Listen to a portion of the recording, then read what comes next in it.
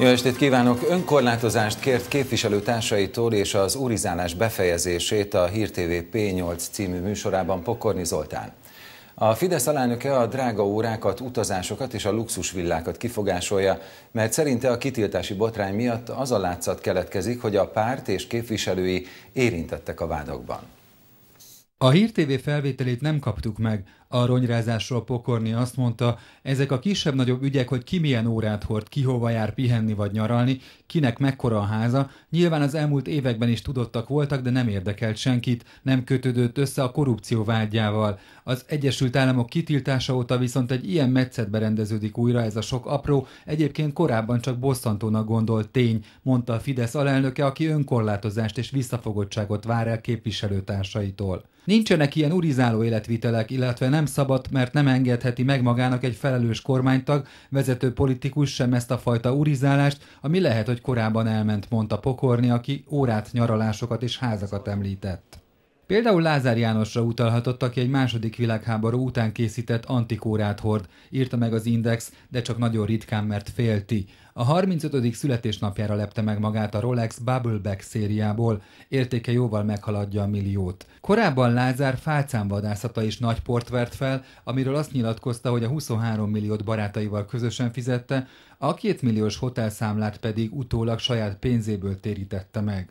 El fogok késni. És... Kósa Lajos itt nem csak később közölte. A Debreceni TV már szocialista kormányok alatt is nyert pénzt arra, hogy filmet készítsen a szorványmagyarságról.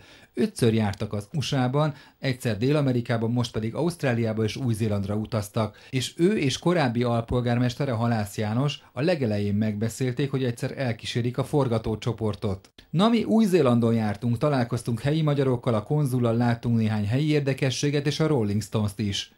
Kósa két hónapja azt közölte, azért nem valották be, hogy a felesége nevén is van egy 150 négyzetméteres óbudai luxuslakás, mert azt tőle senki nem kérdezte. Én nem vagyok hajlandó szégyenkezni azért, mert a szüleim egy egész élet munkájával olyan körülményeket teremtettek, amelyek az én, a testvérem és a mi gyerekeink számára is biztos anyagi hátteret jelent. A 700 négyzetméteres Dunakeszi házat állítása szerint a miniszterelnök biztatására vette Szijjártó Péter mondván, fontos, hogy egy külügyminiszter méltó módon fogadja partnereit. Öt fürdőszoba, medence, szauna, öt állású teremgarázs és egy autómosó lesz a felújított házban. A 167 millióból csak 68-at fizetett ki egyrészt bőven vannak hiteleim, másrészt akkor nekem is, meg értelemszerűen más családtagoknak is voltak ingatlanai, ezeket mi mind eladtuk, amikor vásároltunk egyébként kivétel nélkül. Ezt mások éppen olyan jól tudják. Így védekezett Rogán Antal a Pasaparki ingatlanjai kapcsán felmerült vagyonosodási vizsgálat ürügyén.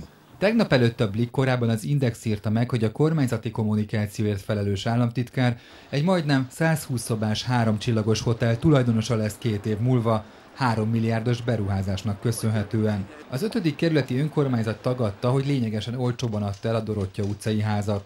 A csak nem milliárdos vagyonnal rendelkező Gírószász András az MTI-vel közölte, soha nem volt a tulajdonában olyan cég, amely ingatlant vásárolt volna. Az MTI híréből egyébként hiányzik, hogy a volt kormányszóvivő a 20%-os tulajdonrészt Sógora Serfőző Péter cégében szerezte, aki az ingatlan szerzéskor már tulajdonos volt.